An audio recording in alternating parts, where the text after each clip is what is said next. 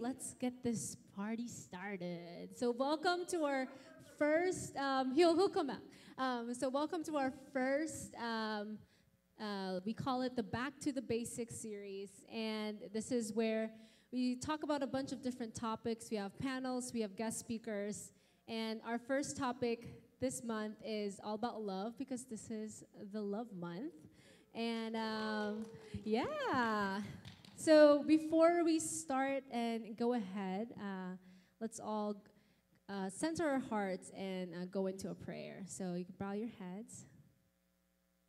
Gracious and loving God, thank you so much for today that you have gathered us all here together to come and have a conversation about what does it mean for uh, what does it mean to love someone? What is marriage in your eyes? What is the biblical calling of loving people. God, I pray that you would be amidst us and that you would be at the center of our conversations today, that your love is the only one that truly matters and, and it shines above and beyond all of us. God, we thank you. We, we pray for the Spirit to move in this room, to be touched, to be challenged, and uh, to, for truth to come out. And we love you so much. You say and pray. Amen. Amen. Oh, here we go. All right.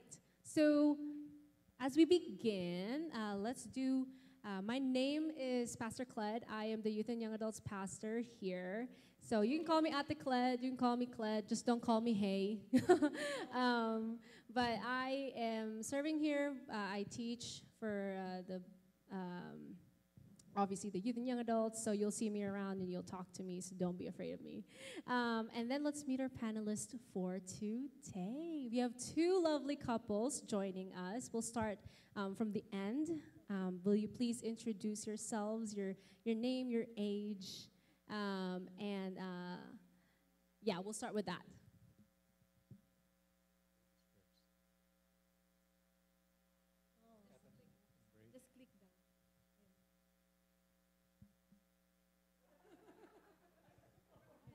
Good afternoon, everyone.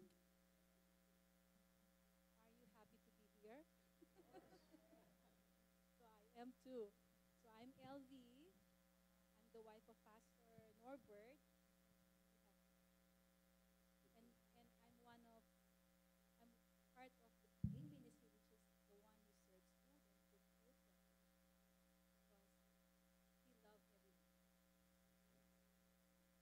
Because he loves everyone. We want uh, everyone to get hungry or angry. Hangry, we don't want you to get hangry. We don't want them to, to, to be angry because they are starving. So we have to give them the best food that we have. Okay, next. Oh, it's my turn. I'm Norbert. They call me Bert for short. And I'm part of the team. And thank you for Pastor Jeff for allowing me to be a part of these wonderful people in this church.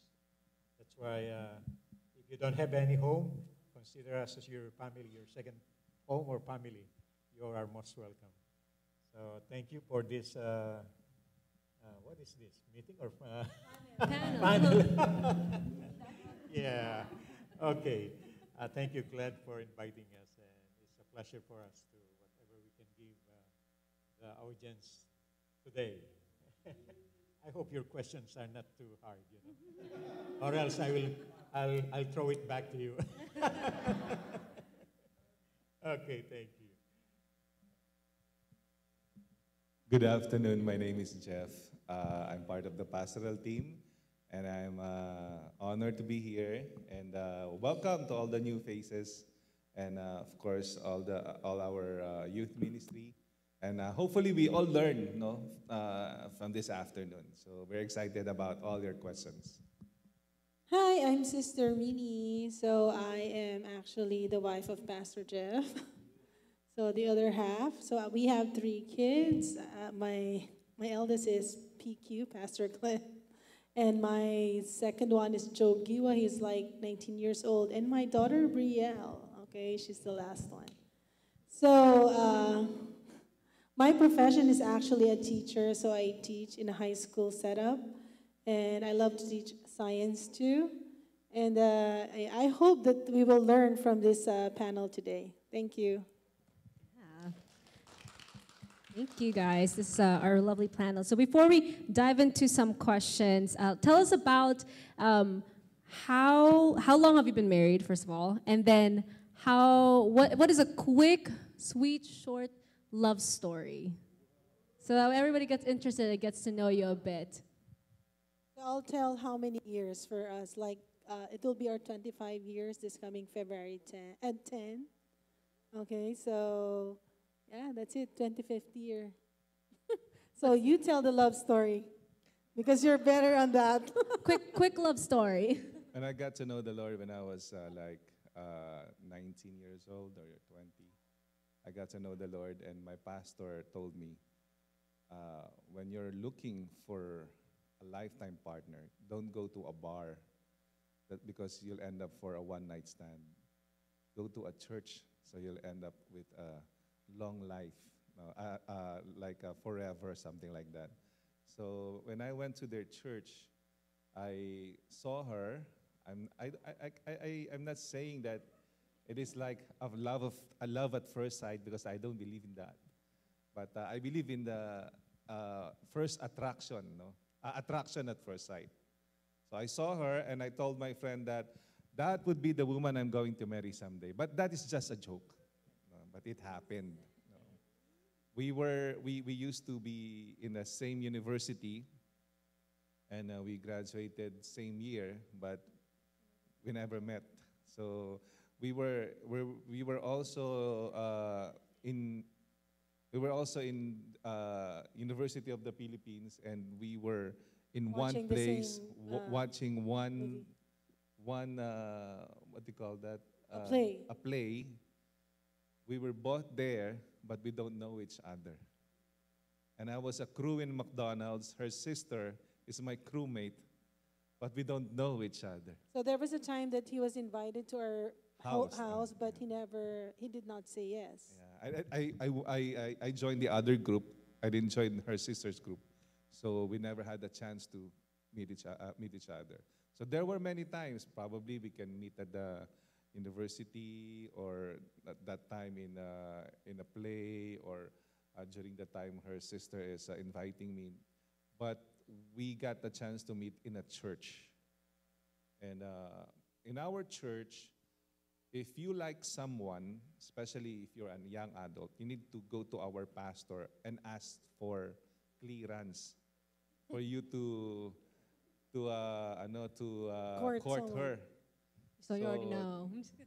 The problem is that there's a lot of other, you know, young Contender. adults, other contenders, contender. Because of my red lipstick. No. So my pastor will always say, no, no, uh, uh, forget about it. But uh, when I asked the pastor, and uh, before that, the pastor told me he had he had the pro- Oh no no no no. no Siri. so I I asked my uh, I, my pastor told me he had the prophetic something like, oh someday you'll become a pastor. And I said okay, and then he, he it, and then I asked him the question, oh I like this girl and I believe that you know her. She attends your life group, and she said okay let me let me set the date. So it means a clearance. So we, I got to know her and uh, courted her, but I, g- uh, I was uh, denied, busted. She was rejected.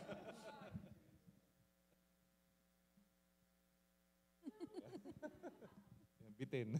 yeah, to be continued. to be continued. Go ahead, Pastor. Okay. Uh, uh, how will I, how will I start it? Uh, way back 1979 or 80. oh no, that's the time I came to know the Lord. And then uh, my wife, Albi, uh, she's already uh, serving in the church, or she knows the, uh, the Lord already but during that time. I believe. Oh, you're the first one. 79. Okay. Okay. So we we came to know each other. It's a long story, but to make it short for you, uh, 1987, we got married, and then we have children right now, uh, two children, a boy and a girl. a little more. Yeah, I, I, I've, I, I've, s- I saw her. I saw him. Oh, oh, oh hold I on, hold on, him. hold on, hold on, hold on, hold on. I'm not yet done. Oh, Uh, suspense, okay. Uh, so, before that, the church that she's going to, uh, it's a Pentecostal church. Uh, but actually, I, I was influenced it, within the university. Then I, they, I just came to know their church when somebody from that university they're uh, attending in the church. I was hooked because uh, they're inviting, uh, like the piging, there's a food, you know. Uh, but I'm working then during that uh, years in an accounting firm, and I told my my co- co-workers, okay, let's go. Uh, let's eat and exit uh, yung kain then sibat kasi that's why uh, that's how they try to do the evangelism in the church. We have no idea. And then that's the time that I was hooked in the Lord uh, without knowing it. The, in, in the university, every night before we go home, there's a group there, they're gathering until such time that I came to know the Lord in that uh, group uh, because of the food. and then uh, I was uh, too young as a Christian. I'm not yet matured. I, I don't understand any, everything about what they're talking about. So I, I transferred to another church in uh, Assemblies of God. And I was able to work in World Vision. Then I go around in Central Luzon until such time that I told the Lord when I just want to leave the church again. And before I left the church, I told, I told the Lord, Lord, uh, I wanted to really to serve you. Because I was a member then in the choir. My voice is baritone, uh, lower than, uh, than bass. So it's very hard for, for me to, to get a bass in, in the choir sometimes, or uh, baritone. So I went to went back to my former church the first time that I know the church that I attend to, and then there you go. Okay, you wanna continue? okay, that's uh, she will take that part. Uh, and one day I was about to go to church. That was Sunday, and we have this uh, transportation. You know, when you go to one certain place, there is only one uh, uh, vehicle that will bring you there in the church. So at one time, I was there with my friend. I was at the back of the uh, the driver, and he was sitting. He was coming. I saw him coming. He was he seated on the edge of the of the vehicle, which they call is jeepney, you know, in the Philippines. And so while I was talking to a friend who is a best friend, one of the, my best friend, and we were talking about the guy whom am I praying for. You know, I'm praying for someone that was, and then suddenly, uh, there was this. Uh, I think it's the Lord who who spoke in my heart and said, "That guy on that corner will be a part of your life." And I didn't even I didn't even uh, tell anyone about it because I'm not sure if it's really from God or some somewhere else or something like that. So I waited. I just prayed about it and prayed so hard and really seek the Lord and soak the and really soak my my uh, you know my day every day to the Word of God. So I was really praying and then I said, Lord, are you really the one who's really talking to me? Because I'm praying for someone. And I said, and so I didn't, I didn't really give attention on that. So because I was praying for someone. But the Lord works. And then one day, until one day, that we need someone in the choir. So he was coming from the, from up, because that one is kind of, we're on the second floor. And he was coming walking. And I saw him, and my heart was really, I don't know what you can, it's, it's really beating so fast. And I was really, I could not really take it. So I was kind of was really praying, Lord, is he the one? And then it just came out that he was a one, a friend of our, one of our members. So he's, they said that they need him as a, uh, as a, one, to be one of, of our, you know, choir member. So because he was baritone, and so I said, okay. I just kept quiet and waited until the Lord again will speak to me. So that's it for now. And later you'll, you'll find out again. Natin sila. Yeah. So that's a that's a quick, short love story from each of them. You'll find out more as we continue on. So our, let's let's dive into our first question. If I can, if my clicker is working.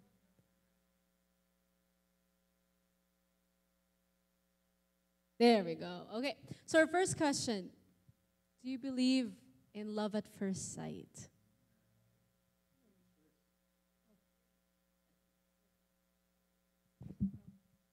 No. No. I don't believe in love at first sight. Uh, of course, like if you see someone that you don't like, would you would you agree that it's love at first sight? So I think uh, there's still what you call attraction, at least for the first time. Usually it starts with uh, physical attraction, not necessarily, you know, like an Angelina Jolie or Brad Pitt kind of guy, but sometimes, um, uh, usually it starts with a certain feature that, oh, I like her hair, or for a lady probably, I like his eyes. It's so expressive, something like that. It's more a physical. It's more a physical. It's more of a physical attraction. I believe in attraction at first sight, but I don't believe in love at first sight because love has a deeper meaning. And uh, if you use it in that particular moment, the first time you see a person, you fall in love right away. That is kind of, uh, you know, questionable. I don't. I don't believe in love at first sight. Yes. Si Pastor Bert na love at first sight. Pastor Bert, do you really believe in it? Uh, well, I believe uh, Adam and Eve. Uh, no one else in on that garden. No choice. That's why I'm thinking. uh, choice at sight. Well, the same thing, you know. Uh, love at first sight. Well, love at first sight doesn't last. What I believe that lasts is that uh, that attraction really uh, in process. Uh, that is, I believe, the, the right thing to once you fall in love. Don't just uh, because she has a beautiful eyes or blue eyes or whatever. Kasi may mga fake eyes na ngayon eh, di ba? Yung may nalalagay na kulay, they can uh, deceiving, you know. can be contact Yeah, contact lens. uh, so I believe uh, love at first sight. Well, it's up to you, but uh, because you have eyes to see, you know. but uh, listen to your pastors. Uh, it is better to uh, go on the process, not only on the first first moment you see a guy or you see a lady, a beautiful lady. It's very deceiving sometimes. It is. Uh, it's much better to to go on the process. Thank you. Let's go on to our next question. Okay, gaano po katagal magligaw at paano po manligaw ng maayos? In English, how long should you court someone and how do you do it well? So we're, uh, I don't know if you're seeing a trend, but we're, we're starting out with uh, dating, when we're going to marriage, and then we'll go to singleness. So first, we're in the dating range. So how do you, how long should you court someone or how do you do it well? Okay, that's a good question. What does courting even mean? So we can go with how does courting mean, and then if you should do it, should there be a timeline? Is is that something that you should put a timeline? Um, yeah, and if you if there is a timeline, how do you do it well? Like, do you have to give chocolates? You have to pay for everything? Whatnot? So go ahead. I can only define it in a Filipino perspective of how we court a girl. Let's define first what is courting. Courting, in our perspective back then in the Philippines, is that when you like a girl and you want her to be your girlfriend, so you'll do anything, as in go to her house, bring her flowers, bring her chocolates, send her love notes. There's no Facebook yet during our time. So um, do everything to please her, and as and when in the right moment that you that you say the magic word "I love you," so you're expecting Do you love me too? A yes from her. Or no. so if, the, if it is a no, it means we call it busted. So if it is a yes, it means that you are now into a committed relationship. So that is courting in our perspective because there's a different perspective here.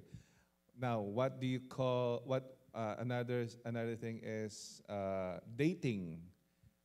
Dating back then in our, uh, during our time and back in our culture, dating means uh, you are exclusively uh, with somebody that you are dating, like going in a movie house or uh, you know you're exclusively being seen always together. But the thing is, dating is kind of different here. When you when you define dating here, it's different. No, you you can say dating as in you're living in together. You call it dating. You know what I mean? But in but in our culture, it's kind of different. So, uh, if the question is how long should you court someone? So let's answer that first. Uh, for again, I can also I can only answer from from our culture. There's no such thing as how long that you should court. There is such thing. there, there is such thing as how long can you wait for the an, for the answer of the girl uh, for the yes answer of the girl. So it is up to you. So the more the more it is prolonged, probably she's testing you or whatever. But uh, there's no such thing as how long, because when you put a time frame, it is like, okay, I'll give you like six weeks. If you don't say yes, I'll move over to another person. So it makes uh, it seems like you're not that um, serious in your intention. So when you ask, how do you do it well? Oh, paano manligaw ng maayos? So how do you do it well? Uh, the, problem here is that we're asking the wrong question. Um, the right question would be probably before I court a girl or before I do it well for her to be pleased, I should ask the question what are the pre requirements before I consider courtship? So, what are these? First, am I spiritually matured? Am I emotionally stable? Am I mentally healthy? Am I financially able? It, means that you already graduated from college, you already have a good job, and you have a clearance from your mother and father that you, are, that you want to have a girlfriend or boyfriend. So these are things that you need to consider before thinking of how long should you court or how you are going to do it well. The, the thing is, uh, uh, courting somebody is something that you really need to to consult God, no, because um, you are looking for a lifetime partner. Imagine lifetime partner. There is not somebody that you will be with like for six months and then end of contract. So you have to consider it before God. Consult God. Consult people who believes in God. Probably your pastor or your discipler. Uh, these are things that should not be taken lightly. So that's it. But my, my, my, my, my answer for this is that before you consider this, how long, how you going to do it, always remember, am I, you ask yourself, am I spiritually uh, uh, matured? Did I finish my, my, my education? Am I done with college? Do I have a good job? Am I financially stable? Even though you, you're done with college, it doesn't mean you're financially stable, right? If, you're, if you're financially stable, you're mentally healthy, because you'll be affecting another person's life. You need to be emotionally stable and psychologically fit. Then you can start praying for a lifetime partner. Anybody want to have an ad, Pastor Bert, Sister LV? Ah, courting, yung manliligaw, ano, sa atin, in our dialect or in our culture, or uh, they call it uh, um, mamanikan or man, man, man, maglolo, maglolo. That, that is in my dialect, uh, courting. Well, for me, uh, I'm not Jacob, you know, na, to court a woman for seven years or 14 years. Who's, who's Jacob? Who's Jacob? Uh, okay, Jacob, by the way, is the brother of Esau in the Old Testament. Uh, you know, their father is Isaac. You- are you familiar with that passage in Genesis? The brothers? Jacob had to, uh, in his uh, uh, younger days, he came to know this woman, you know, or this lady. And it takes seven years to court her. And before he, he court the, the lady, he had to ask permission to the parents. I believe the same thing in our culture. Uh, in order, you said, uh, in order to have a formal, what's that? Uh, how long or uh, how, how do you do it well? In courting, in order, uh, what they call the formal courting, you know, you have to ask permission to the parents. And even before you ask uh, the permission, you ask your, your mom, or I ask my mom or my dad. But actually, my dad passed away so early at, at my age, uh, early age, you know. So I, I asked my mom. Uh, but the formal courting is that you, you go to the house of the lady that you are wooing. Wooing is that the right term? Yeah. Uh, and you don't have to court her on the street or wherever, what place you go, you know. So it's not like here. I don't know what uh, how what the culture here. Uh, once you are courting, or that formal courting a woman or a lady. So you have to go to their house. You have to talk to their mother or to their parents. You tell them your intention. Uh, I remember my old pastor says, uh, once you say, I love you to a lady or to a beautiful woman, you are ready to say, Will you marry me? Okay, remember that. So Pastor Jeff is telling us or telling you that uh, before you say that I love you or uh, you are waiting for that yes answer to your to the lady or to the man you are courting. Is it? Tama ba yun? Sinabi, may, may babae bang nanliligaw? Pwede, pwede naman. Pwede okay. naman. Ah, nasaan ako? Ano ba sinabi ko? In court yeah. You must be stable enough, no? Uh, not only financially, but uh, in all aspect, no? Emotionally, uh, spiritually. But the best thing there is that uh, what Pastor Jeff says is that uh, as much as possible, uh, he must have the same belief or uh, the lady that you are suing or uh, wooing, uh, pareho yung ano nyo, yung belief, pananampalataya. Re- Remember what Paul says that don't be uh, equally yoked with unbeliever. You can yoke with unbeliever, but it is very hard. That's why uh, at first hand, the Word of God, according to St. Paul, says that as much as possible, if you wanted in the future to uh, be yoked with uh, somebody, or you must not choose unbeliever or don't be equally yoked with uh, not the same what you believe. So I believe that is the right uh, formal courting in our culture. You have asked the permission of the parents. But sometimes, uh, if I may add, I remember when my older sister, there's somebody coming in our house at night. At night, they they are coming mostly. They court at night. That is the best time. Then my father, if doesn't like that gentleman, he will put kulambu right away, you know, and banig. Do you know what that kulambu? Uh, uh, you are ready to sleep, you know. the mosquito net, you know that?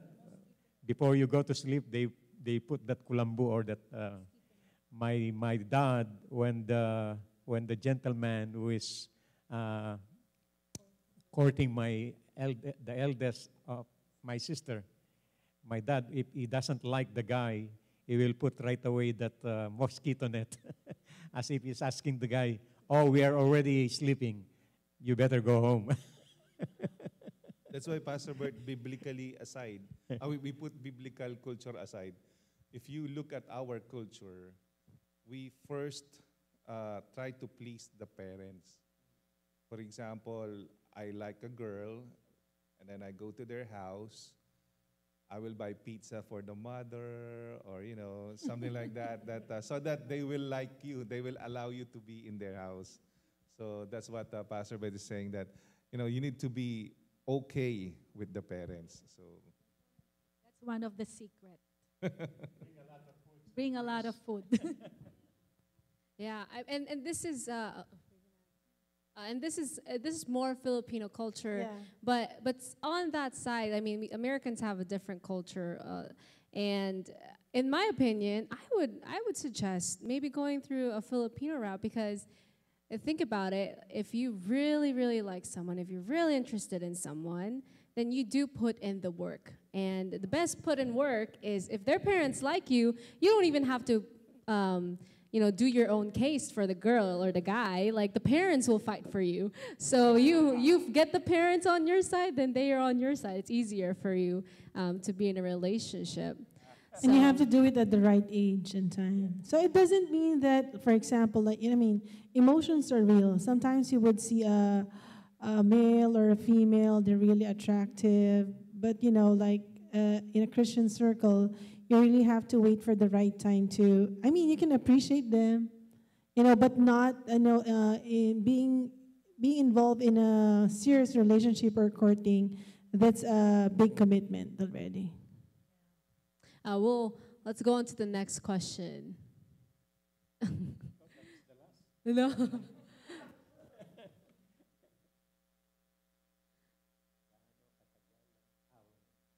okay. Uh, next question. This is also a long question. What if a person is at the starting point of maturing spiritually? Will it be all right to date them, or should I encourage them to wait and grow our faith for our faith towards God together first? So, in short, um, is it a good idea to date somebody if they're beginning, if they're starting their journey um, as a Christian? Or do I wait and grow together with them first? So, uh, I mean, it's, uh, the question. I, suggest that you wait because you might be a hindrance to his or her growth because he he or she is on her he or she is on his or or her way in getting to know God.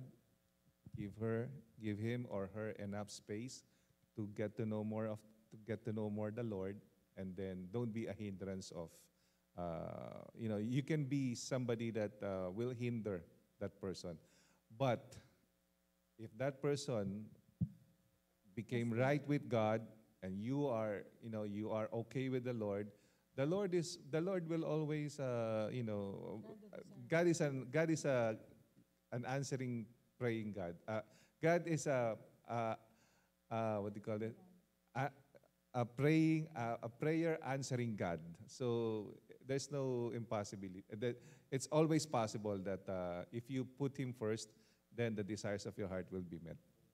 So I do agree with that because like uh, based on our relationship, like when I when we when he courted me, he was not like fully mature, but I was like the one who's really committed in the church, and my maturity level is higher than him. I mean, the best way would be is if we could have waited for a little bit longer. The, because in, uh, uh, for example, if you commit yourself and you got married, then that will be the time that all of the weaknesses will appear. And you will not be ready for that challenge. So uh, it's easier to be mature. Like when you commit to get married, like you should be, both of you should have the same maturity level so that you will not have a, any problem along the way. I agree with that. No. Copy paste. Yeah, it's it's it's the same. Uh, I, I also felt that because when I when he started courting me, because bef- prior to that I was praying to God that the man that the guy uh, whom I will be with a relationship, I told I asked the Lord that He's more, he loves the Lord so much. He will love the Lord more than me. That's what I was praying for.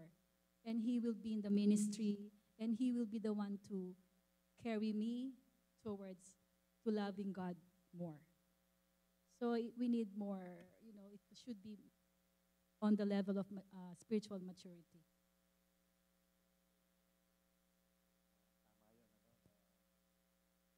are a Christian already and you wanted to get into that kind of a situation, uh, don't go in a rush, okay? Uh, you must uh, know each other. The, the better you know each other, the uh, mas maganda, no? As you uh, learn from each other and as you grow in your spiritual life, and yeah, you will see if uh, really, uh, even though you are uh, in a date or courting already on that stage, sometimes there there are things that the Lord will, will try to show to you, you know.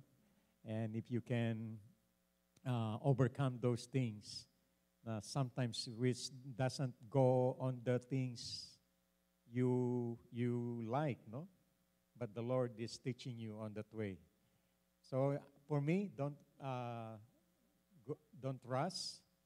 Uh, it's better or it's good if you have uh, that long t- uh, to more to know more each other, and I believe uh, be more look look unto the Lord, or I mean say uh, if you are in the in the church, if you are involved in the ministry, um, uh, focus yourselves in serving the Lord. You know, the same thing uh, uh, with us.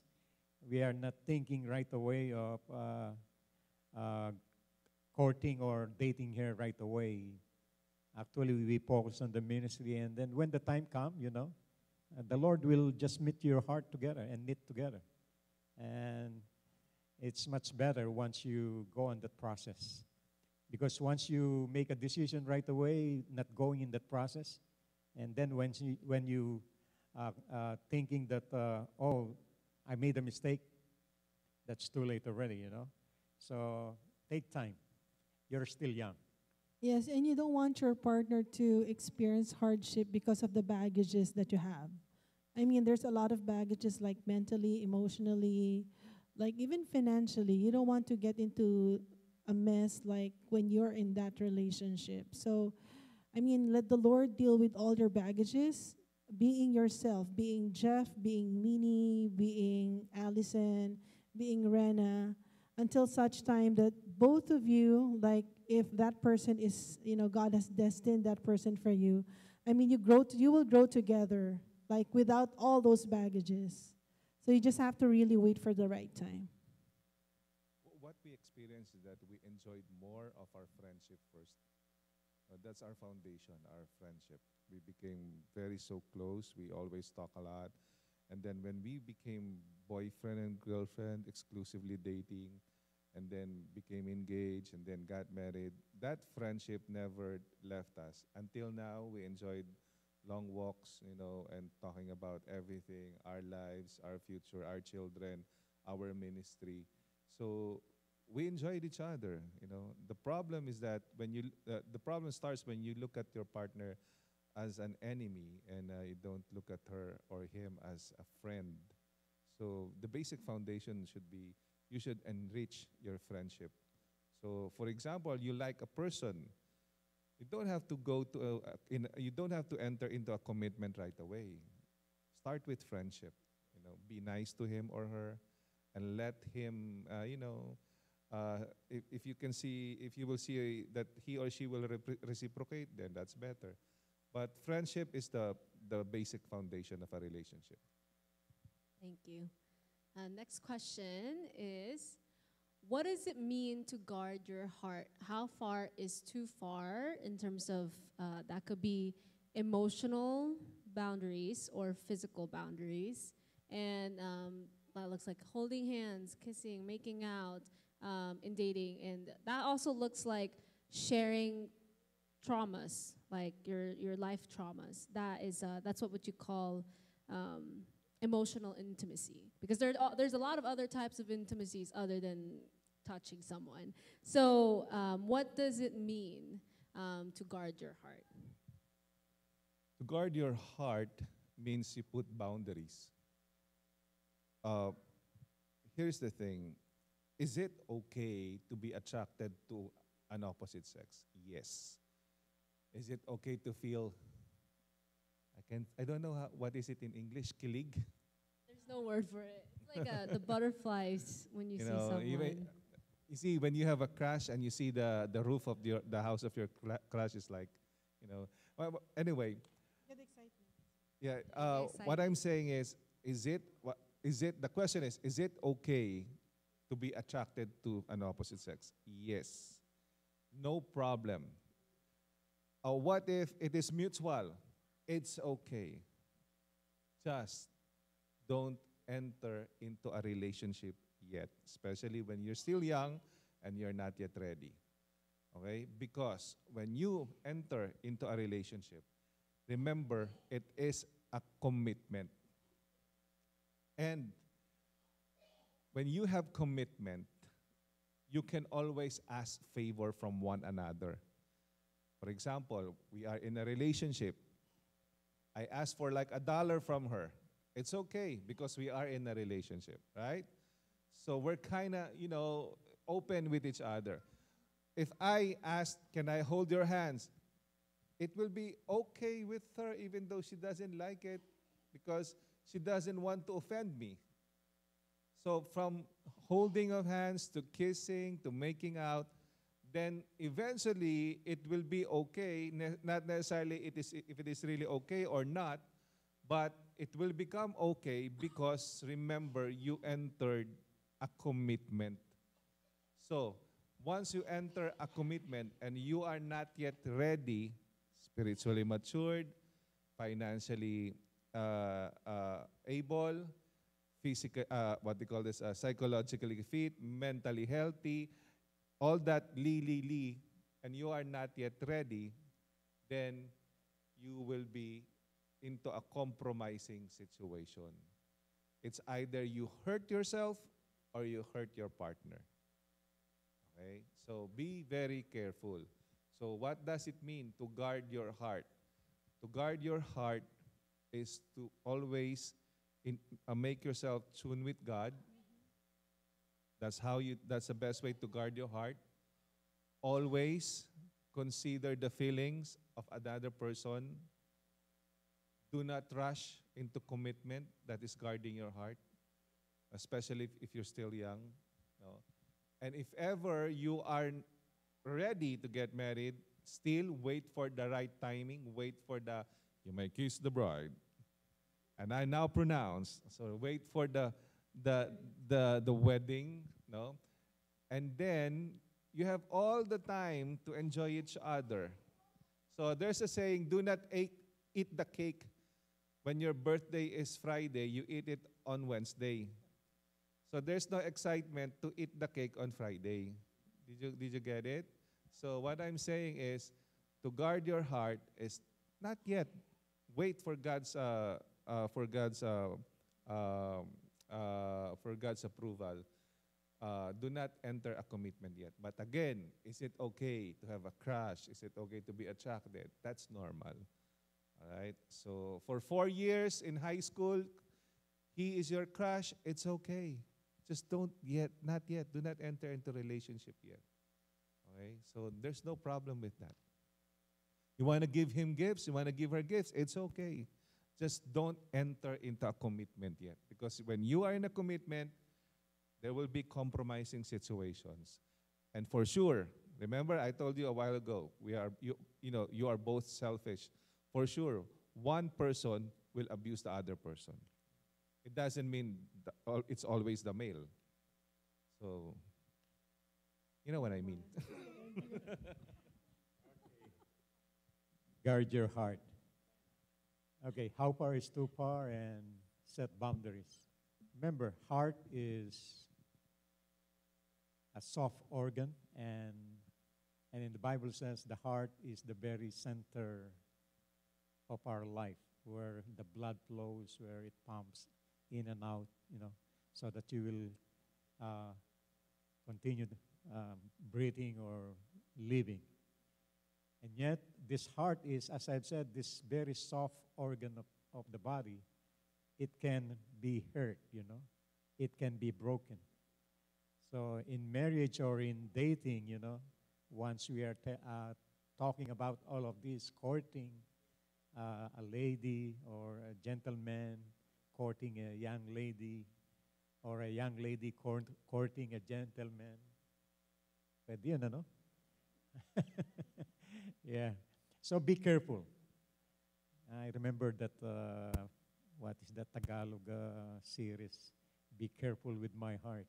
You might break my heart. It is, it is, uh, it is a sad thing, no? That you are too young, then you commit yourself already as if you are already husband and wife, which is not supposed to be, no? Uh, outside marriage, the things that couples do, you know, uh, must not be. No, uh, if you are single or if you are dating, you don't do the things that the couples do. And even though you are on the process, you are. Uh, let me let me say that uh, you are both Christians. Still, you must set a boundaries. You know, uh, how much more if you your partner is not unbe- uh, is not a believer or is he or she is unbeliever it is there's a danger there that's why the question says you must what uh, what is that uh, guard guard your heart and set boundaries that is the right thing to do you know in order not only to save yourself in the future if you are hoping na, you will not say on the on the very end that oh I made a mistake. Oh I I hope I did not uh, do that thing or I will I did not yet uh, say I do or yes or I commit myself. So it is good to wait, you know, go on that process. It is as Pastor says that uh, uh, build your friendship. It's much better if you start on that uh, as you go along, you know, and then you know each other then later on, you know, uh, the Lord will, uh, on the right time, sabi nga, naririnig ko sa eh, sa tamang panahon, in the right time, the Lord will, uh, will knit together your heart when you're, once you are prepared already. And also, like guarding your heart, uh, for me is it's very important to have a mentor, like someone to to watch over you, so that you can pour out your heart, so that you will not be focused on what you think.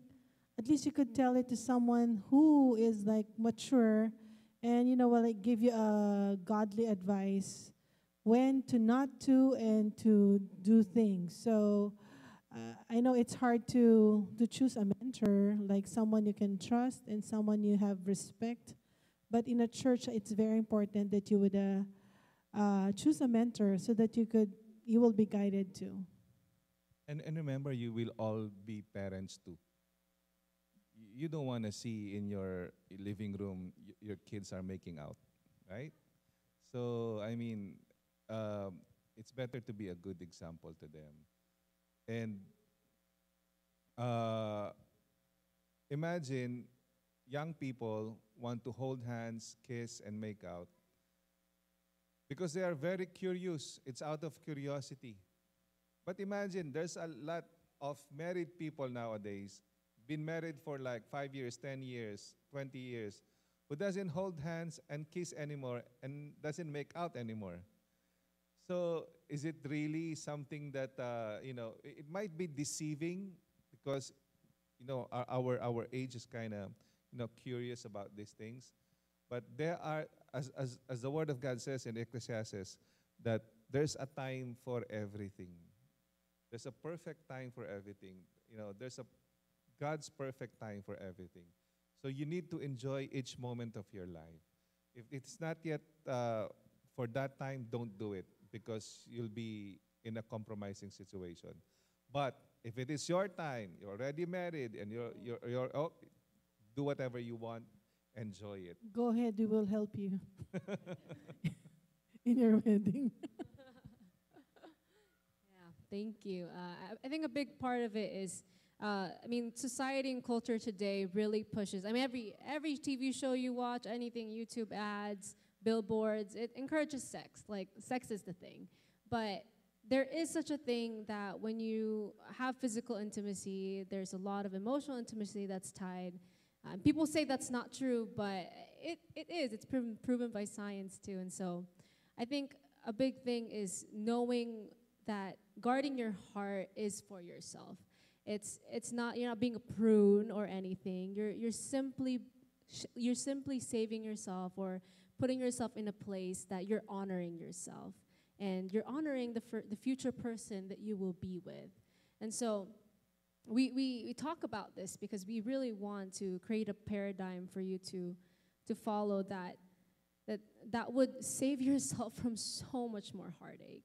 And uh, take it from people who've made mistakes. You know, it's, it's a lot of heartache when, when you make such mistakes like these. And so, uh, moving on to the next question. And let me Um, just uh, add always check your motive. Because why do you want to hold the hands, kiss the other person, or make out with him or her? It's because you want to experience the person. Remember, that person would be the future wife or husband of another person.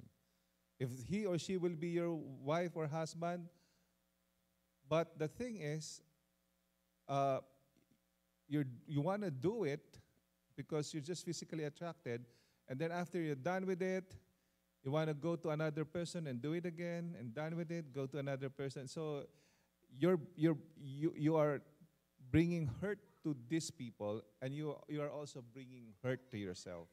So the tendency will be a miserable life in the future. So please don't do it. Wait for God's timing. Thank you. Uh, so, our next question What does love mean to God? Short answers. if you can try to shorten it, please shorten it. Lo- love is one of the attribute of God. It's really one of the character of God. So if if uh, you have that love in love of God it, within your heart, and then you can easily love others, right? So uh, what is this? Uh, when when you are attracted to someone, and it doesn't mean that you love. It, there's love, right? So you are just attracted to someone. But if you have the love of God, that really, uh, what is this? Really uh, there in your heart. It's really, uh, uh, what is this? Uh, deep inside you, it's there's love. It will just show.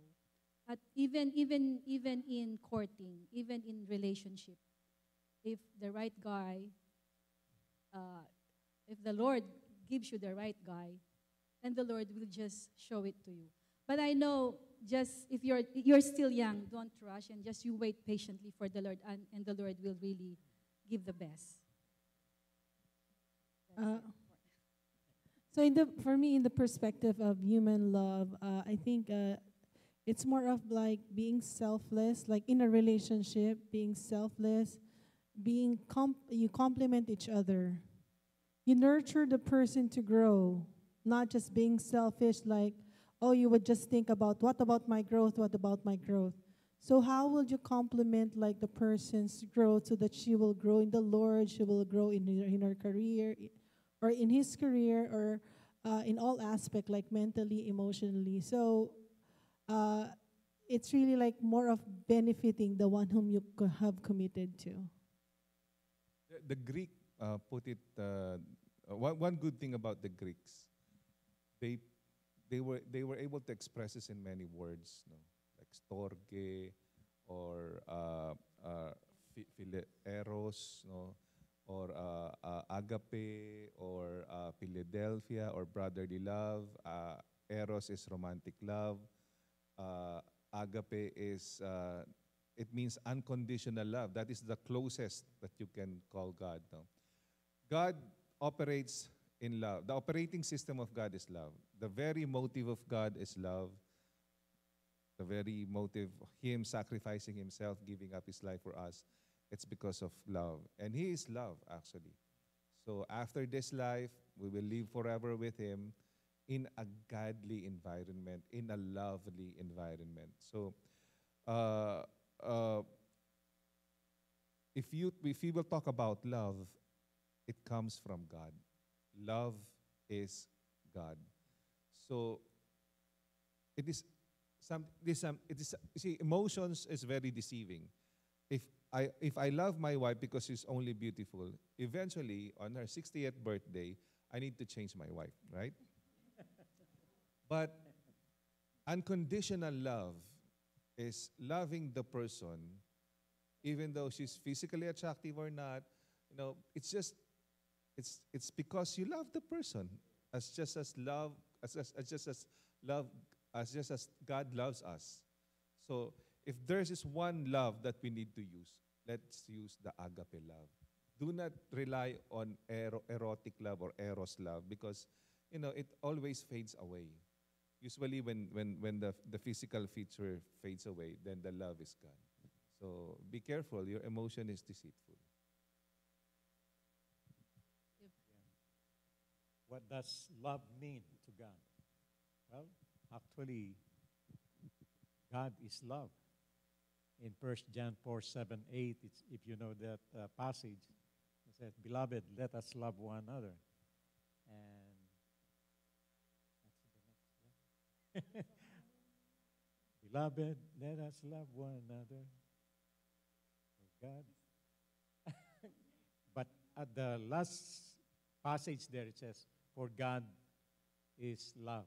Okay. Uh, the very, as Sister Elby mentioned, that uh, the very nature of God, the attributes of God is love.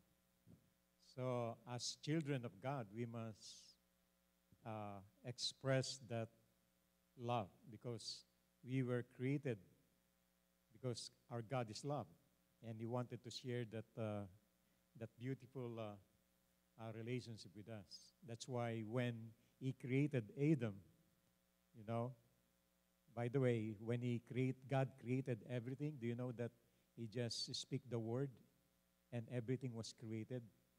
But when He created man and Eve, He exerted, as we have heard from the message this morning. Pastor says that uh, even the hands of God, as if He is trying to uh, make that visual for us, that he, his hands get dirty. He, he, he formed us. He exerted effort, as Pastor says. So he just not say, let there be Adam. Then Adam just appear. No. He exerted effort because of that love. No. That's why when he saw Adam is is not yet complete. That's why he created Eve out of Adam. Is what is that in Hebrew? He's Isa. Is, you know? Isa. That's why they call that Isa al-Masih, uh, the Savior. Uh, so here we can see that uh, that love not only eros, eros it fades away, no? Yung erotic love.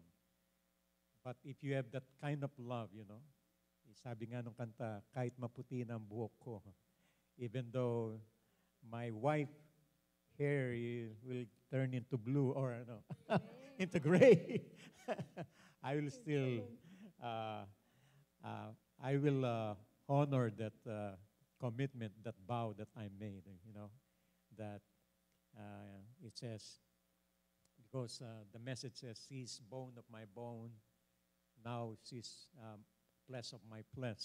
So we are one.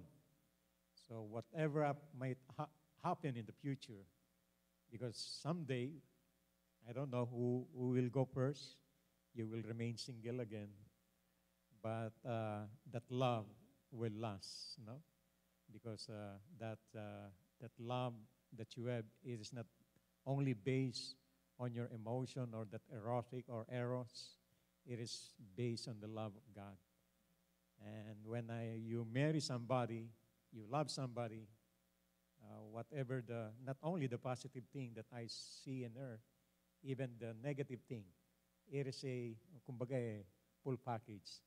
Once you get into that uh, relationship, you just not only trying to uh, say, "Oh, I love you because you have a beautiful eyes." No, even though she has, does, she doesn't have a beautiful body, you will uh, accept that, uh, ano yun, yung yeah, uh, you will still love her, okay? Because uh, and it is not only uh, I remember yung yung sinabi ni pastor na it's not only a contract, it is a covenant not only between you but between you and God.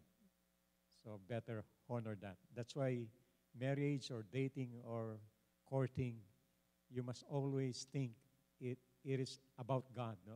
Everything. Uh, God's plan, all of this. Uh, there's that dating or courting or wooing a woman. God put that in our heart, you know. In, uh, uh, and then the good thing is that uh, once you acknowledge God, God will be the one to choose for the right uh, person for you. Amen. Uh, uh, this may sound cliche when we are being asked as believers, what does love mean to God? This may sound cliche, but this is very true. For God so loved the world that he gave his only Son. Whosoever believes in him will have eternal life. So that's how God loves us. And imagine that is the central passage of the Bible, the main message that he loves us so much that is willing to give up his life for us and uh, wishing us that uh, someday we'll be with him for eternity. So that is the kind of love of God. Thank you. Um, our next question asks, "What does marriage mean in the eyes of God?" You guys kind of touched upon it, so Yeah, I already answered that this morning. yeah, yeah. So we're gonna move past that question. um, how do you know? How do you know they are the one? Yes, like oh, this is this is the one for me. if we are still single, and if you ask me that question, how do I know if she's the one? Another question would be, how does she know I am the one? right? So if if you want to know if you are the one for a person, be the one for God first. Straighten out your relationship to God, focus on God, and let Him reward you a beautiful partner in the future. So for me, how do I know that he's the one? So I had like previous relationship prior to my husband, but like when I decided that you know I would fully give myself to God and focus on like in the ministry and serving the Lord, uh, I know God told me that I will give you the best one. Okay, I will give you the best one, and you don't deserve any lesser person than I have decided for you. So during that time that he he was courting me, so actually I said no because I know that I'm not ready for this relationship. But eventually God spoke to me and told me, "Oh, uh, give him a chance because uh, if you will not give him a chance, you will miss God's uh, choice for you, God's per- God's best for you." So that's why I get uh, from that time. So we met. Then I told him that nah, the Lord's telling me to give you a chance. So even if I said no prior to that.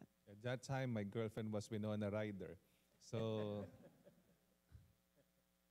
I'm just kidding. Nobody's, nobody knows the Winona Ryder. Nobody knows. anymore. no, no. Nobody knows. no, they- they don't know her.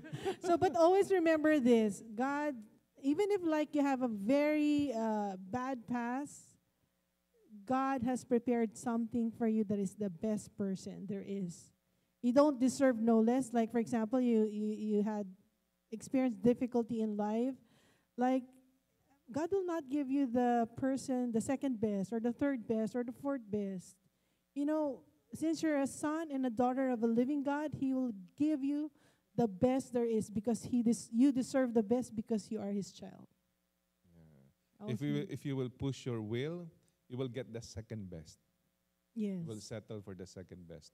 But if you will wait for God, you will get you will get the best of the best. Yeah, sometimes you don't you don't have to pray for that person because they will come along. Darating lang eh. And you just and God will tell you when you're ready with all the aspects of your life and he will he will tell you you know to give that person a chance. Yeah, God told her that I will give you the best tall, dark, and handsome. And after 25 years, I will double him. So look at me now. Increase. Increase in blessing. Doubled in size. Go ahead, Sister Elvie. So before I met him, I was brokenhearted. So So it was really hard for me that time. So what I did, I really seek the Lord, and Yes. I really seek the Lord. Um, and then I asked the Lord. Uh, I asked really a, a big question, sabi ko, why did this happen to me? I'm already in the ministry. I'm really uh, seeking you. I really love you, you uh, and I give my I gave myself to you, and and you know sometimes we really do not know when the Lord really works in our hearts, in our life, and as we wait and as we pray patiently, and the Lord will answer and answer us. And I was just really, uh, I, I really, uh, when I when I really seek the Lord and soak my life to Jesus, I was waiting, I was crying, and then suddenly He came. He came. So I know it was the Lord because I was, I was, I've been praying for someone that I know maybe the Lord says, "Eh, this is not right for you. This is not the right guy for you. You have the, I will give you the best guy. So I, when, when the time, you know, the Lord will really give you a lot of time. I was given a lot of three years to, in praying. So I was praying for three, three years. And then I even dropped, um, you know, I was enrolled in, in, in, in that time. And I was, I really, uh, you know, uh, Withdraw. I dropped, and then I went to some some place. I went in Baguio just to rest and think about everything what happened to me. And then I, when I came back, the Lord really, uh, really uh, settled my heart and get me ready in the big things that He's gonna happen and gonna do to me. So that's why when I met Him, and it was really the Lord who really spoke in my heart, and it's really, I know the Lord spoke, speak to us. Uh, sometimes that sometimes we don't even know. We don't even give attention. But this time i i heard him saying really very clearly and that the guy will be a part of your life. And i was really rejecting it because he was not even tall dark and handsome you know? I was i was not even attracted to him. And i was really rejecting the lord. No lord no I, i'm still praying for someone. Someone else, someone, someone else, else Lord. yeah yeah, that's true. She's praying for someone. I was praying for someone else, and then and then the Lord just struck my heart, and I I, I said, uh, and then when I saw him back, because that was there's a span of a year before I I saw him again, so we met again, and that's the time that he was there and would be the part of our team or choir. And so that start of the friendship first, nurturing the friendship, and he started, uh, um, you know, yung hahatid ka niya, you know, uh, just uh, uh, drop you to your house and help you walk, walk with you before you go home. And then we talk a lot. And I know, uh, because I, uh, prior to that, I was praying, this time, Lord, I don't want to, I don't want to, uh, to be broken again. This time I will be praying if it is your will and if it's your uh, your purpose, Lord, whatever. Because we being uh, sometimes we pray, we plan. There, there is a word in Proverbs 16:9. It says, "A man's heart plan, but the Lord directs his steps." Right? You know, the Lord will really do that into our into our hearts, into our life. And so He directs me to this person that I don't even like. Now yeah, I, love. don't even Now- like now I him. love. Huh? Now, But I love him so much. but much. wait, there's now more. you know what? I really, uh, I, I, I know I, I'm only the second. The Lord is the first. God is the first. I always pray that, Lord, now this time I want a man that love you so much, that will really serve you so much. So involves in the involved in the ministry that that if I fall, he will be the one to carry me. So I saw that to him, even though he's not tall, dark, and handsome. He's, So the, just, it, but it was really God. he's just everything in purpose. Yeah, now as we age, because we are already 34 years in our marriage, and as we age, I can see the love gets stronger. Even sometimes we have a lot of arguments, but the love gets stronger. You have to, to, to put spice on your relationship as you age. And yun po yung, uh, that's the one that I can see with my husband right now, that we are best friends. We are not, before we are best enemies, and you will become best friends. And besties. BFF. Besties. Okay. So now he's, the, he's really the one that God gave. Sa akin naman, siya lang yung number two eh. She's not the number one. For me, the Lord is the number one. Amen. She's only my number two. Well, uh, what can I say? How do you know she's the one? Well, now I know. uh, actually, uh, it is good that uh, for me during the time, the process of time, I focus more on the Lord. When I went to their church, I just tell the Lord when I left uh, Assembly of God, I just told them, told the Lord during the time that, uh, Lord, uh, just use me again, the choir. Uh, the Lord is faithful enough and gave me the uh, baritone, the church, uh, the former church is out of me. That's the time I believe the Lord will plant everything. He will fix everything. He doesn't. Uh, you don't see ahead or in the uh, the things ahead, but uh, along the way, you know, you, you, little by little, uh, the Lord. Uh, the Lord will lead you on that uh, stage. So always, as I said, don't rush or don't be in a hurry and uh, enjoy your relationship as friends, know each other, and really, when the time comes, you will never regret, you know, looking back, and you will just say that uh, those past times and today, uh, you will just uh, smile or laugh, you know. That's the best thing of it, that uh, really you, you focus more into the Lord, then the Lord will just take care of the desires of your heart.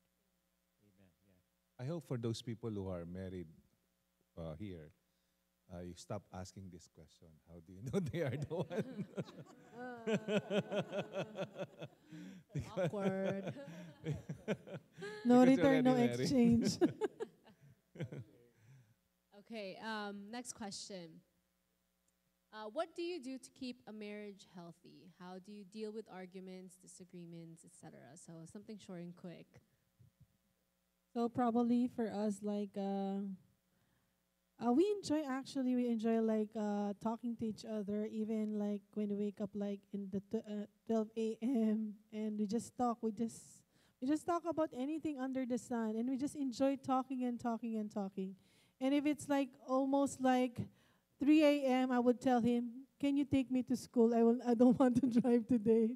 Then he would do that for me. So uh, like you give them favors, you know. Then like some, uh, you know, we I when I ask him to drop me off to school in the afternoon, I would promise him we will have a date after that.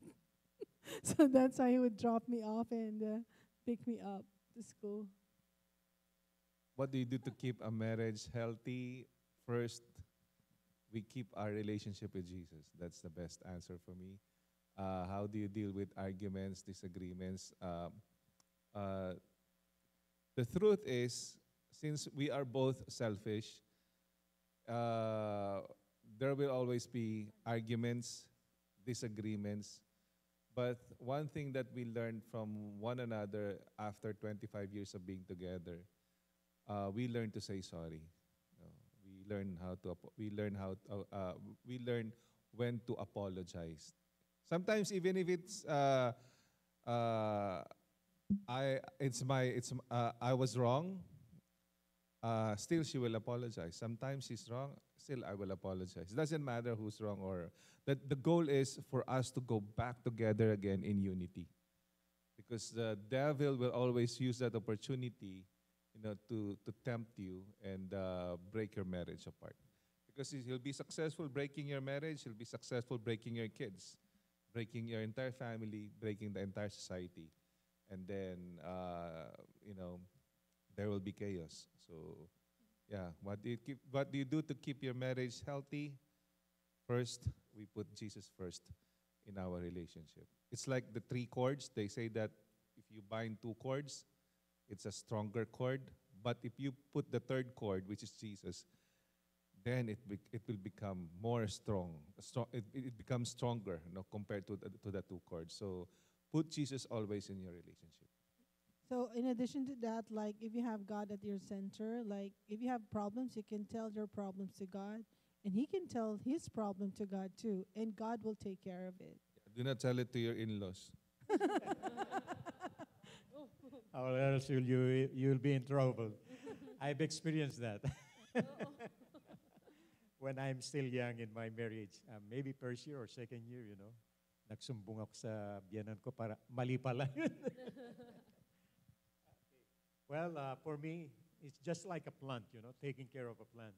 You have to water the plant in order to grow, and you have to put it under the sun or sa merong, uh, ano ito, uh, init ng araw, or you have to cultivate it, put some uh, fertilizer, so that the, uh, you, the plant will grow and one day it will bloom and uh, it will bear fruit. The same thing with relationship, you know.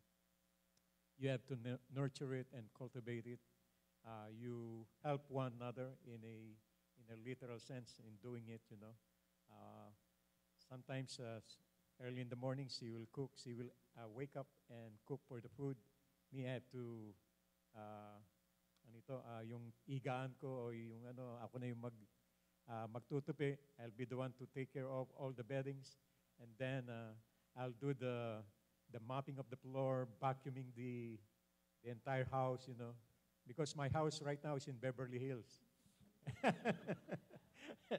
and you have to, once it's done and everything, uh, all the pots and uh, uh, trash.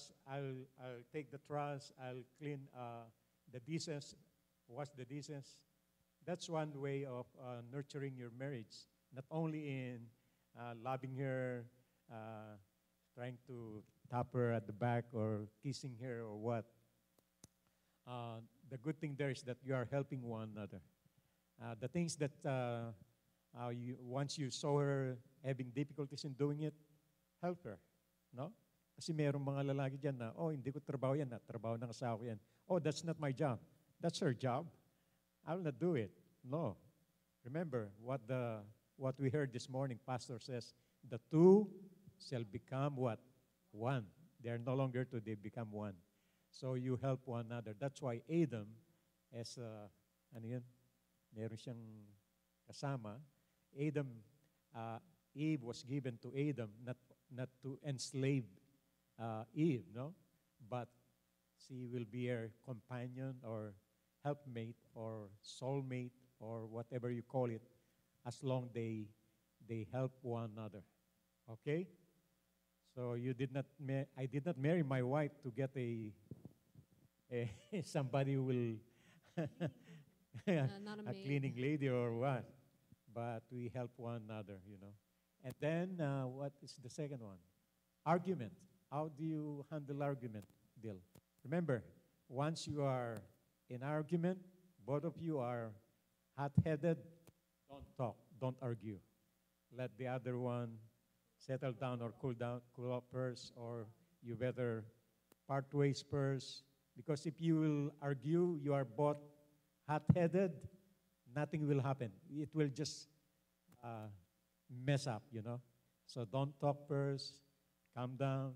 Once you are ready, calm down. Then, if you are ready to talk, then talk the whatever the things that you are not agreeing or the problem is all about.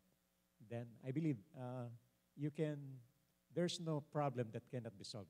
And as Pastor says, always acknowledge the Lord. He must be always at the center of your relationship.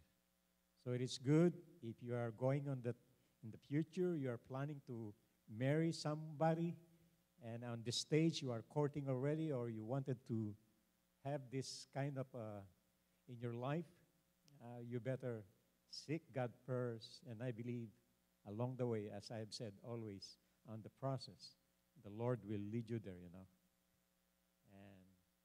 You will never regret. Pastor, but there's a beautiful guidelines given by God in the Bible uh, for Adam and Eve to have a healthy marriage. That is when God tasked Adam to rule over the animals, give them names. So he's the ruler, he's Tarzan, king of the jungle. But he never asked Adam to rule over Eve. He asked Adam to lead Eve, not rule over her life or enslave Eve. Hey, Eve, get me beer. I'm going to watch NBA. That's not the design of God. In the, uh, in, the, in the first place, he asked Adam, rule over animals except Eve. You will lead Eve, but not rule over her. Not, oh, I don't want your haircut. Next week, I want it to cut short. You don't, you, you don't own your wife. You lead your wife. Your wife is not your slave. So let's be clear about that. That's how you maintain a marriage, uh, a, a, a healthy marriage. So you are equally, uh, you are equal in the sight of God, man and woman. So it's just that the man is like uh, assigned to be the leader, but you are both significant to God's eyes. It's just that the man is being asked in front of a horse when you know, or, or driving a motorcycle is the one driving, but still the direction you will decide on it together. So there is no like I am better than you, I am higher than you, or whatever. There's a leader, but not necessarily you are more significant. You are both significant, whether you're a man or a woman. So, enable for you to keep your marriage healthy. You wash dishes together, you do the laundry together, you eat together. I do the laundry. I do our laundry. Imagine that. Uh, so whatever she does, I do it. So there's no there's no like uh, uh, I'm this position, I'm earning much more than you, so you do that. And I. No, no, no. It's equal. No, it must be equal so that you keep a healthy marriage. Thank you. Um, we're gonna skip that one, and we're gonna go into uh, like singleness question. So, what if I'm single for the rest of my life, or what if I'm lonely without a partner? What uh, I, I guess that's the biggest question. Is uh, a lot of us are single uh, in here, so or maybe not, um, but a lot of us are single, and so there is something called a blessed singleness. So can you can you guys speak on on what that means? I mentioned a while ago in my preaching that your wife or husband is a gift from God. Another thing is blessed singleness. There's also this, uh, there is this thing called in the Bible a gift of celibacy. Now, coming from the word itself, if it is a gift, that is something enjoyable. If you don't enjoy it, that is not a gift. Then you are not called for celibacy because you don't enjoy it. Because it must be something that coming from you and coming from heart and uh, from God, and you agree together that you are entering in, into a gift of celibacy because you are being assigned to a specific purpose in life, just like what happened to Apostle Paul. But if you, uh, of course, if you long for somebody and uh, uh, you, you, you, you want to have a family someday, uh, this world will always look at it as in a perspective of, oh, that person is lonely because, oh, how sad, he or she doesn't have a partner. But here's the thing that's the concept, that's the perspective of this world. That enable for you, the pressure, the social pressure, enable for you to be happy is that you see all your high school classmate, batchmates, college batch, batchmates after 10, 20 years, they are all now married with kids, and you don't have one yet. But here's the thing that is just a social pressure. Because it doesn't mean being married is also being blessed. There are a lot of people into marriage, but not necessarily living their best life. Probably they are, they are into an abusive relationship. You know, so it is more blessed to remain single than to be in a very chaotic marriage, right? So probably God is protecting you yet and preparing you for a beautiful relationship in the future. You just need to wait. Okay, so uh, so don't be pressured that oh my batchmates are this and that, they have kids or whatever. The thing is, the Lord has a different plan for their for their for their lives, and also the Lord has a different plan for you. So wait for your turn. The Lord is the, the Lord is not deaf. He always hear our prayers. And uh, if you really desire to have a partner someday, then the Lord will always um, grant that request. Just wait and make yourself right with God.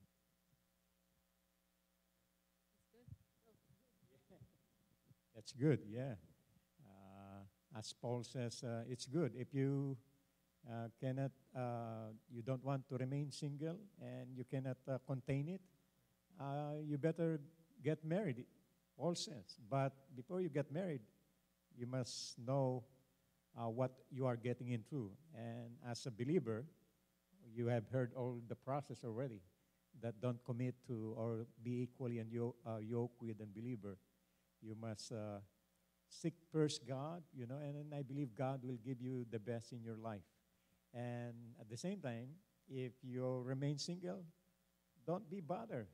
As Pastor says, if uh, marriage is a gift or your the, your partner is a gift, the same thing with singleness, you know, it's also a gift from God. And so enjoy your life if you're, you are single. If you are single, uh, you can do without a, ano yun, wala kang You don't have freedom. you have all the freedom if uh, you wanted to go on the left or right or go straight. Uh, no one will fool you, you know. Uh, not in marriage. You are two already. Remember that. You cannot do on your own. You better consider the other, uh, your uh, partner's decision. You are not doing it by yourself. So there's uh, the beauty of it, you know, both sides. So if you remain single, that's good, you know. God, God has a purpose, a much a better plan for you. If you, you are married, well, there's also a better purpose because God designed for man not to be alone but to replenish the earth. He says, go and multiply, you know. And that's true because God is well pleased and that is blessed as well.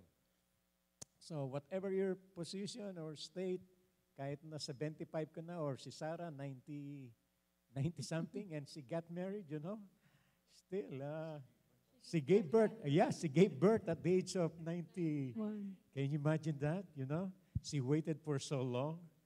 Uh, but I believe uh, the Lord has a, a plan for you. I stored uh, much better in your life. So don't be in a hurry. Just keep on praying. The Lord will direct you on that path.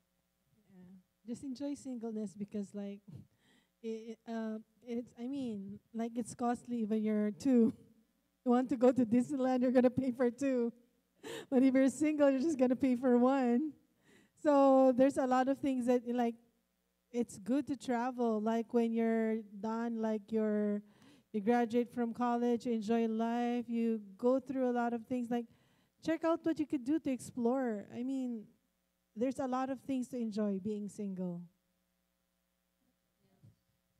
And it's and if you think about it, if, if we say that our a human's life expectancy is 100 and you um, you spend singleness like to your, to your 25, you still have the rest 70 like years to to be with somebody, but you only have 20 years to be by yourself. Or even if you get married at 50, at least you lived a life of 50, but you still had another 50 years with somebody else. And so the logic is that singleness isn't like a curse. It's it's not like like man, I'm the only one who's not single. I'm the only one who's not dating. Like it's all these thoughts. It's it's not like that. I, I think I think a big part is changing your perspective that singleness is a fun and exciting time to go out with your friends and uh, travel together, enjoy a lot of things together, and learn so. mu- There's so much more to learn um, out there, and um, you guys have only seen so little, and so there's there's still so much to see and so much to learn, and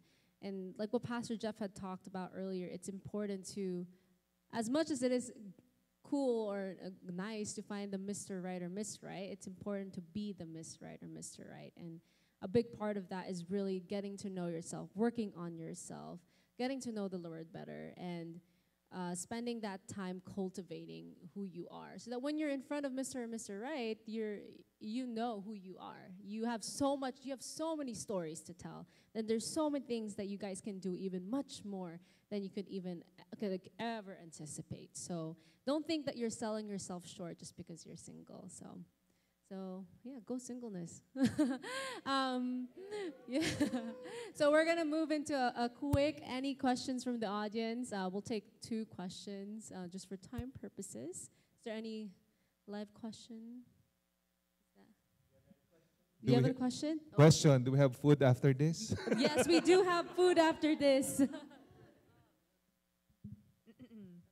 is it okay that you have like is it okay to have a partner that has different beliefs than you is it okay is it okay to have a partner that has different beliefs than you yeah is it okay to have Religious beliefs? religious beliefs it could be religious it could be Uh, any kind of beliefs? yeah, any kind of belief yeah Uh, for me, um, yes, it's okay probably, but the thing is, it will only last for a moment. Why? Because if you have different beliefs or in whatever areas, it is just like agreeing on a certain route and you have two different directions. It will be hard for you to reach the same route with two different directions. So I would suggest, I would recommend, I would encourage, just like what the Bible says, that as much as possible, when considering a lifetime partner, is that you have uh, the same belief in almost everything, especially uh, when you talk about spiritual beliefs. As much as possible, consider that. But uh, it doesn't mean that other relationships are not successful having different beliefs. I'm not saying that. There are actually successful relationships. But the thing is, the chances are so, so, so low. But if you have a, a higher chances of uh, uh, being successful, try somebody or uh, uh, uh, consider somebody who has the same belief as you. Any other question? Anybody from the back? Anybody from the back? Okay. Jeannie, you have a question? Oh, Brielle, do you have a question? Oh, she doesn't have a question. Jeannie, do you have a question? Jeannie? It's kind of long. It- It's I I just um it's sort of deep to me because in my experience from hearing couples or from watching TV and from personal experience I've always thought about we kept expecting something about someone. We kept mentally requiring like some kind of type about someone before ever meeting your now significant other. I just wanted to know have one of you ever had that in mind before ever meeting your true one?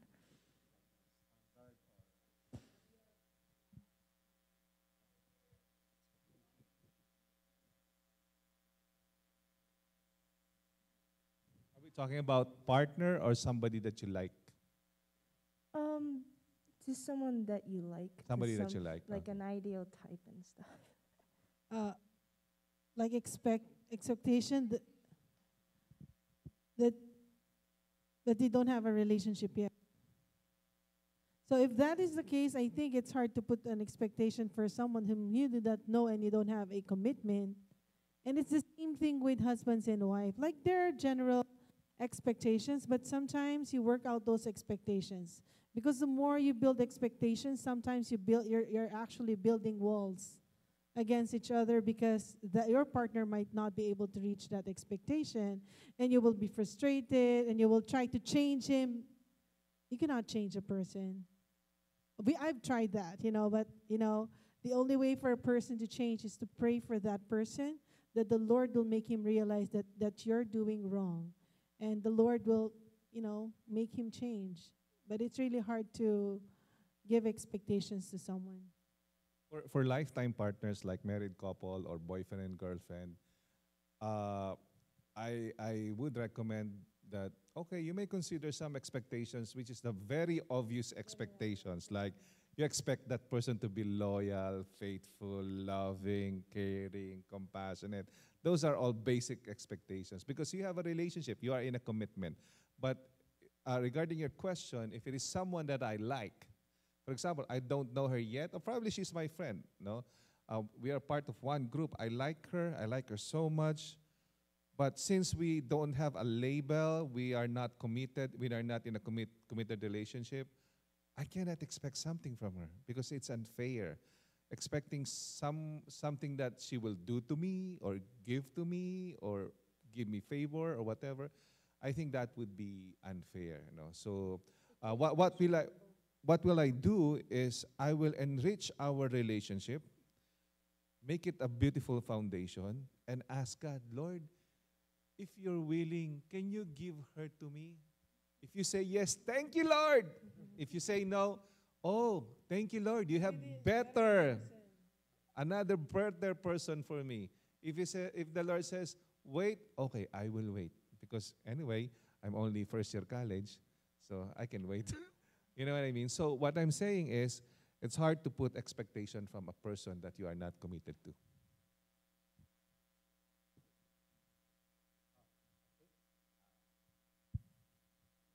Akin, Jenny, uh, ano,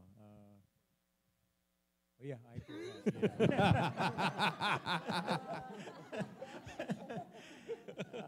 Expectation, yeah, sometimes it will just uh, frustrate you, you know, because sometimes if you put a standard to a person, and that person has a different, uh, yeah, perspective in his life, so it is very hard once you put something in a person that he cannot make it, you know.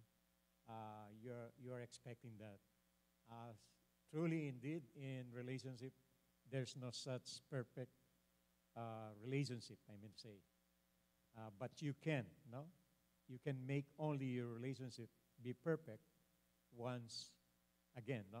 Always, once the Lord is the center of your relationship. So, before you commit or uh, go into this stage of your life, uh, don't put those expectations. Just uh, give it to the Lord. You know, as the Lord says, uh, if you are thinking about those things and you are so worried about your your partner in the future, in First Peter five seven says, cast all your standard or expectation or cares or worries unto the Lord and for the Lord careth for you, the Lord will be the one to guide you, you know, and to attain those things on on the right time, no.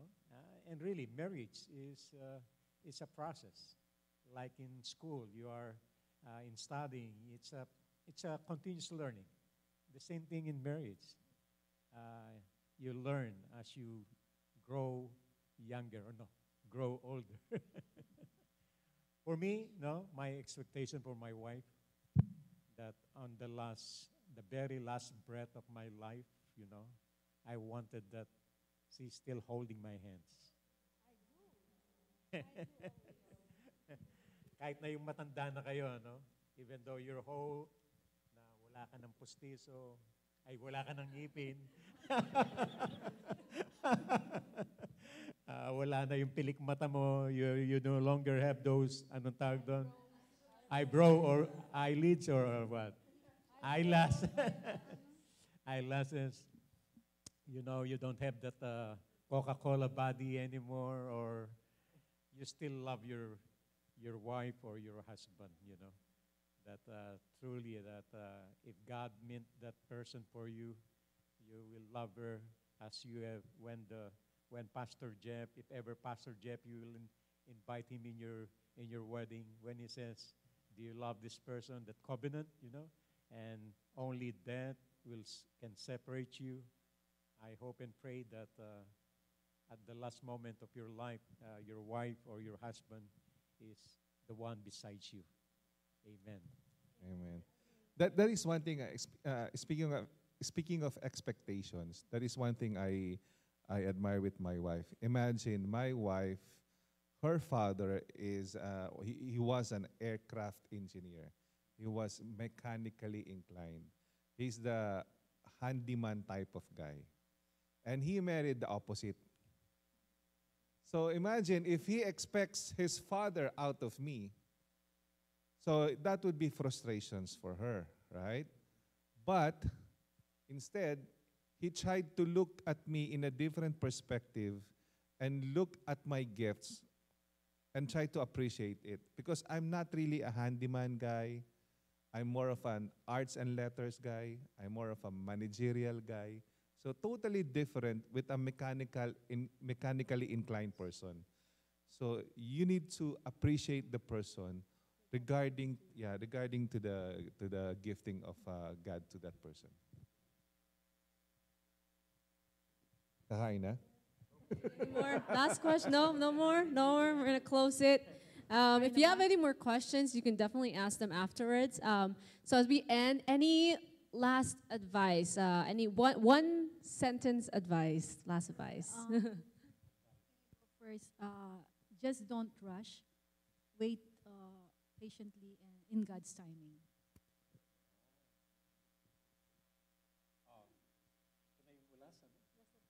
This is the- this is really last. Seek ye first the kingdom of God. Amen. And the Lord will, yeah, will be added unto you. Don't seek first your boyfriend or girlfriend. Seek first the Lord. Amen.